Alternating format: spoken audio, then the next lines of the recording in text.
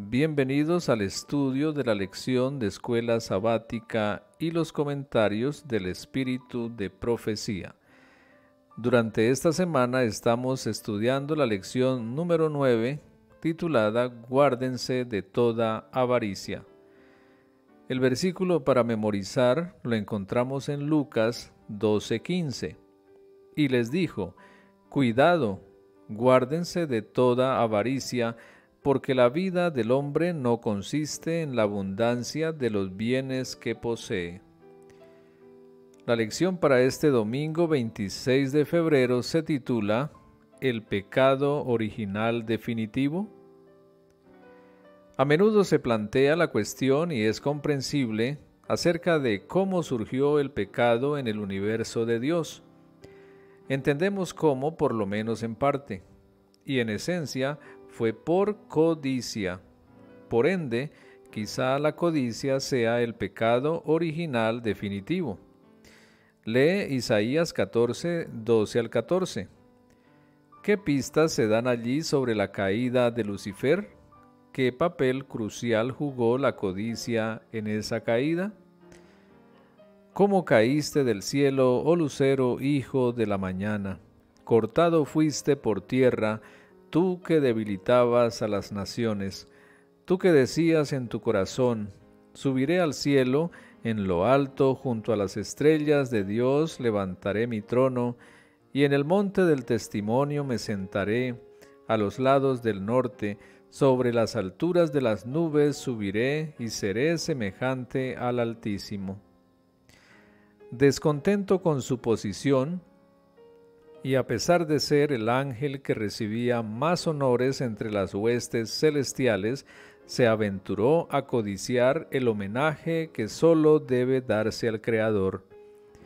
En vez de procurar el ensalzamiento de Dios como supremo en el afecto y la lealtad de todos los seres creados, trató de obtener para sí mismo el servicio y la lealtad de ellos y codiciando la gloria con que el Padre Infinito había investido a su Hijo, este príncipe de los ángeles aspiraba al poder que sólo era un privilegio de Cristo. Patriarcas y Profetas, página 13 y 14. Lee Efesios 5:5 y Colosenses 3:5. ¿Con qué equipara Pablo la codicia y por qué? Efesios 5:5 Porque sabéis esto, que ningún fornicario o inmundo o avaro que es idólatra tiene herencia en el reino de Cristo y de Dios. Colosenses 3:5 Haced morir pues lo terrenal en vosotros, fornicación, impureza, pasiones desordenadas, malos deseos y avaricia que es idolatría. Es fascinante notar que dos veces Pablo compara la codicia con la idolatría. La gente practica la idolatría cuando adora, es decir, dedica su vida a algo que no es Dios, algo creado en vez de al Creador. Romanos 1, 25. Codiciar entonces podría ser desear algo que no deberíamos tener y desearlo tanto que nuestro deseo por ello antes que por el Señor se convierta en el centro de nuestro corazón? Indudablemente, al principio, Lucifer no sabía a dónde lo llevarían sus deseos equivocados. Lo mismo puede ocurrir con nosotros. El mandamiento contra la codicia, el único mandamiento que se ocupa únicamente de los pensamientos, puede evitar que realicemos actos que también lleven a la violación de otros mandamientos. Ver por ejemplo segundo de Samuel capítulo 11. Leed primera de Timoteo 6, 6 y 7.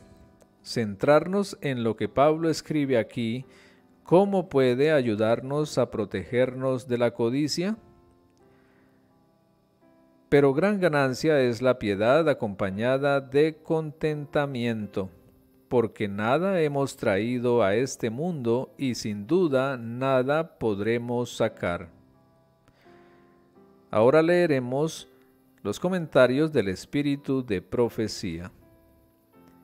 Mientras todos los seres creados reconocieron la lealtad del amor, hubo perfecta armonía en el universo de Dios. Cumplir los designios de su Creador era el gozo de las huestes celestiales. Se deleitaban en reflejar la gloria del Todopoderoso y en alabarle. Y su amor mutuo fue fiel y desinteresado mientras el amor de Dios fue supremo. No había nota discordante que perturbara las armonías celestiales, pero se produjo un cambio en ese estado de felicidad. Poco a poco Lucifer llegó a albergar el deseo de ensalzarse. Las escrituras dicen, enaltecióse tu corazón a causa de tu hermosura, corrompiste tu sabiduría a causa de tu esplendor. Ezequiel 28, 17. Tú que decías en tu corazón, junto a las estrellas de Dios ensalzaré mi solio, y seré semejante al Altísimo. Isaías 14, 13 y 14. Aunque toda su gloria procedía de Dios, este poderoso ángel llegó a considerarla como perteneciente a sí mismo. Descontento con el puesto que ocupaba, a pesar de ser el ángel que recibía más honores entre las huestes celestiales, se aventuró a codiciar el homenaje que sólo debe darse al Creador.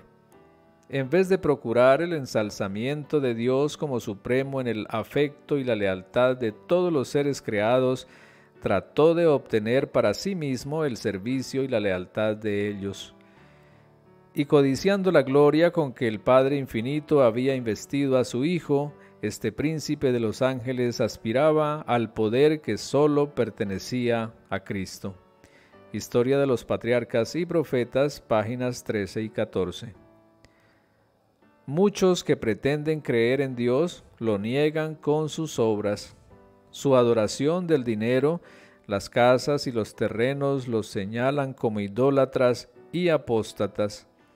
Todo egoísmo es codicia y por lo tanto es idolatría. Muchos que han hecho inscribir sus nombres en los libros de la Iglesia como creyentes en Dios y en la Biblia, están adorando los bienes que el Señor les ha confiado para que ellos fuesen sus administradores. No se inclinan literalmente ante su riqueza terrenal, pero ésta de todos modos es su Dios. Son adoradores de Mamón honran las cosas de este mundo con un homenaje que pertenece al Creador. El que ve y conoce todas las cosas registra la falsedad de su profesión de piedad.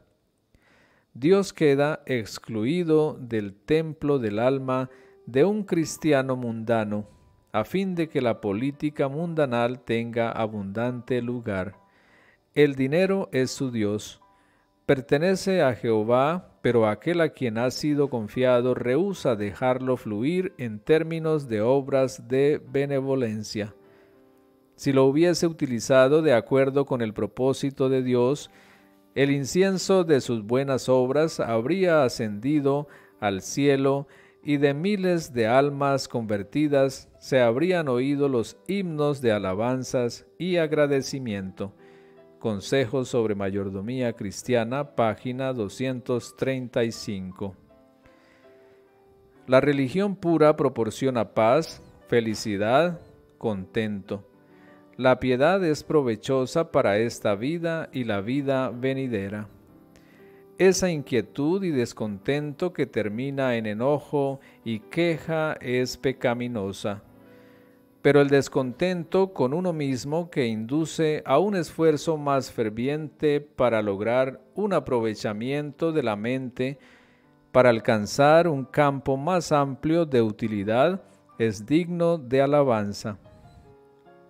Este descontento no termina en disgusto, sino en la reunión de fuerza para alcanzar un campo más extenso y elevado de utilidad están siempre equilibrados únicamente por un principio religioso firme y una conciencia sensible, teniendo siempre el temor de Dios ante vosotros, y ciertamente prosperaréis en vuestra preparación para una vida de utilidad.